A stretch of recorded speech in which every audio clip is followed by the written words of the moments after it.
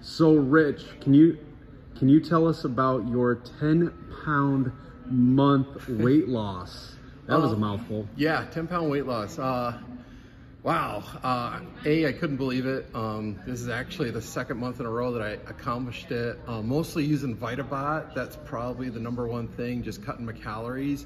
But definitely the exercise, the constantly, just even on the, uh, the 10 pack really helped. So um, Vitabot was prime in this, and that's that's pretty much how I did it. Just cal- calorie cut. All right, awesome. Thank you for your time. I appreciate it, man. Yeah, no problem.